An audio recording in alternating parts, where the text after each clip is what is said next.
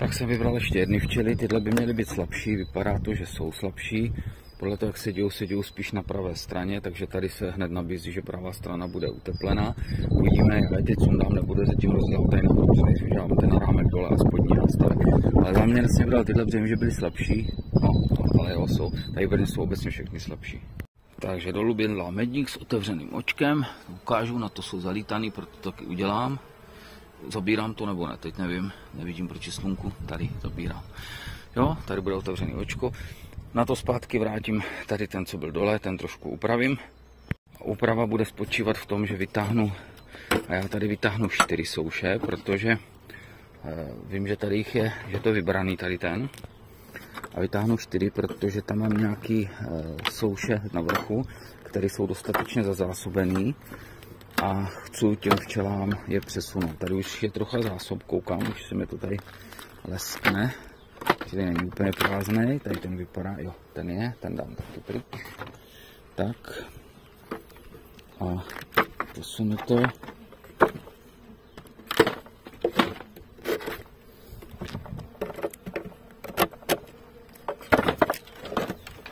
Šup.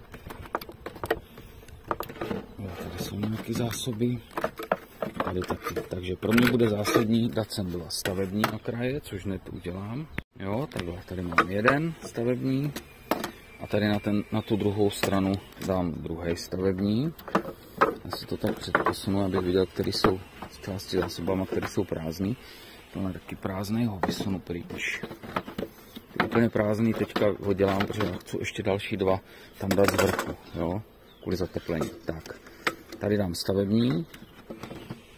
Tak, kolik mě tady? Kolik? 2, 4, 6, 8, 10, takže ještě jeden nějaký prázdný, úplně tohle hezká souš, nechám.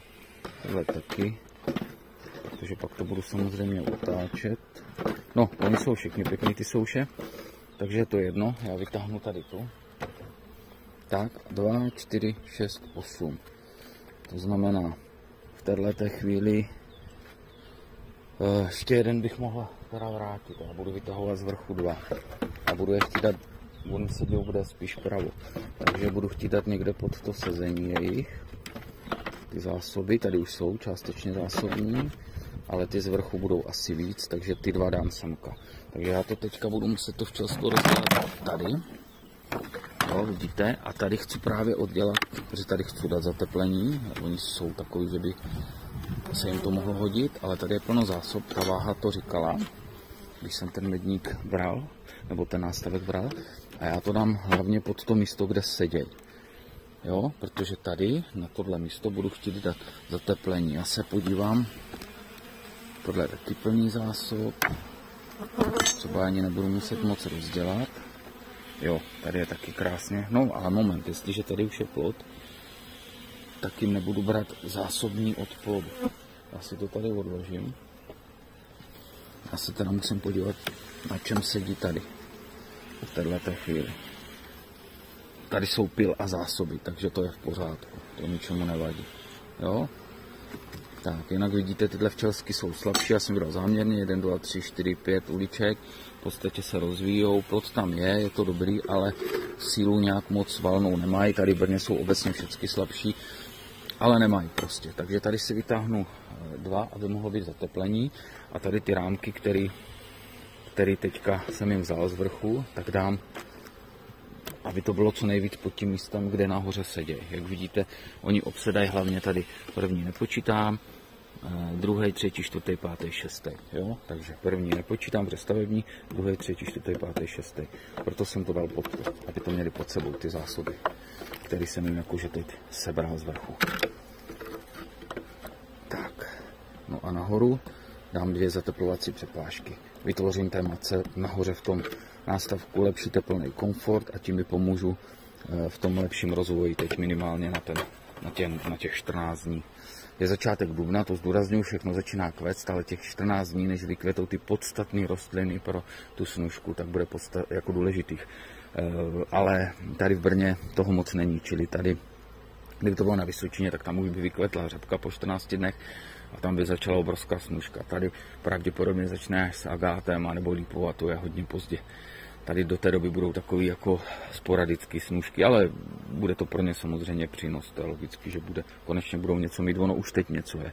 Nejvíc tady teď bývá na začátku ovocných stromů od zahrádkářů a pak to postupně čeká na ten agát a lípu, jinak tady v té oblasti toho moc opravdu není.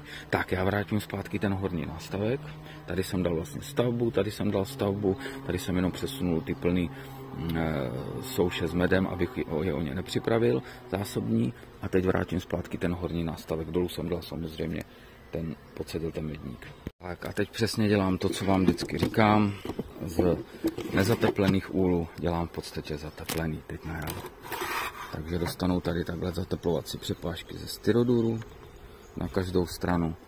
Nahoru se dá samozřejmě zpátky folie, já se jenom dívám, že já ty přepážky otočím. Tahle je jenom takový cosi. A tady to je snad těsno. Takže já si dám sem tady tu s tím rámem. Že tam víc se děje a tady tu jenom vyřizlou dám semka. No, takže můj zateplený úlek vidíte v této chvíli, dá se říct krásně vznikl jednoduše.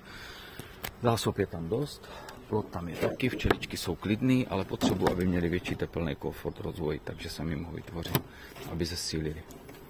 Tak, folie trochu posunu, protože tam nedám výkoteč, jsem ho posunul při těch zásazích a hotovo bude. Tak tady vidíte včeličky po úpravě. Tady mě celkem do tady toho medníku zapadl i ten faust, koukám. Mám to tam vysoustružený. O, tak už to nechám. Tady to nechám, ale co se týká tady toho vrchu, tak ten jim teda drze takhle zavřu, jo? Protože samozřejmě prostě mají k dispozici to, co na co se zalítali a to je to očko dole a chci, aby chodili teď v létě, už to ničemu nevadí, nebo v létě, pardon, na jaře, kdy to teplo už je dostatečný a ničemu to nevadí, tak chci, aby chodili standardně eh, přes ty oba nástavky, které budou plodištěm. To je záměr. Jo? Takže já jim umožním očko, ale to spodní. V létě pak eh, včelařím tak, že mám jenom česno, že nemám vůbec očko. Jo? Ale v této chvíli ještě, ještě samozřejmě umožním eh, i to očko. Ale bude toto očko tady u toho medníku, který si předpřipravuji. Včeličky jako takový, eh, tady tyhle ty jsem teď vybral pro vás schválně do toho videa, protože ty jsou tady takový slabší, ale nejsou, eh, není to nějak jako fatální, ale prostě těch pět rámků v téhle době na začátku dubna, tady v tom teple si myslím, že už může být na, můžou na tom být líp. Jsou tady i jiní, které obsedají celý nástavek. No a ten teplný komfort, který jsem mi vytvořil, dostatek zásob, eh, tak je v podstatě pro ně teďka hodně důležitý, protože je takový to období, kdy čas od času se dost ochladí, třeba přes den na 10 stupňů, ale v noci může jít teplota třeba k 2-3 stupňům, je duben, že jo. Občas je prostě eh, opravdu chladno až karadě. A tím, že oni mají to teplo nahoře, protože teplo se drží u vrchu, navíc teď jsem jim zateplil i to okolí, tak eh, se jim bude líp udržovat opravdu u toho plodu ten teplný komfort, lepší se budou rozvíjet a eh, rychleji hlavně. Takže ta matka to postupně celý zaklade, jo, a eh, zároveň mají dostatečný prostor pod sebou, kde mají i stavební rámky na bocích. To znamená, ve chvíli, kdyby začala nějaká významná snužka, tak mají prostor, kde se realizovat, vystavit tu trubčinu, kterou oni potřebují, tu stavbu a e, je tam jakýsi ten prostor, kdyby ta snužka byla e, neodhadnuta z mé strany a velmi významná. Ale jak říkám, zatím je to všecko tak, že nemám tady v podstatě rozkvetlý rybí angrešt ještě, takže vím, že eh, ta snužka zatím nezačala, takže eh, neřeším až tak do detailu. Tohle jsou zásahy, které v podstatě dělám eh, a vím, že těm včelám pomůžou. Čili zateplení vrchního nástavku, prozatím žádný otáčení se nekoná. To se u mě koná taky, až, z největší, až začíná rozvoj včel, čili jak začíná ta snůžka, ale pak otočím nástavky, to znamená ten prostřední, ten, co byl předtím spodní, hodím nahoru a ten, co je teď zateplený, ten horní, tam dám stavební rámky do boku a vrazím ho dolů. Jo, prostě tak, abych těm včelám eh, vlastně vytvořil zas prostor. Ta matka se přesune potom nahoru a tam se rozklade znovu. Ale zatím to nedělám, protože prostě ten rozvoj včel zatím není tak obrovský, abych to udělat musel. Tohle se dělá ve chvíli, kdy už je rozvoj včel velký a ta matka potřebuje prostor na kladení, potřebuje se někam roztáhnout pořádně a je jich dostatečná síla. Jo? Eh, čili to třeba udělám za týden, nevím, možná to bude za deset dní, ale v této chvíli je to zbytečný, by to bylo potrhnutí těch včel. To plodiště teď naopak, jak jste viděli, jsem zateplil a udělal jsem jim tepelný komfort na ty studené noci. Takže ať se daří, přátelé, ať máte včelky zdraví a silný.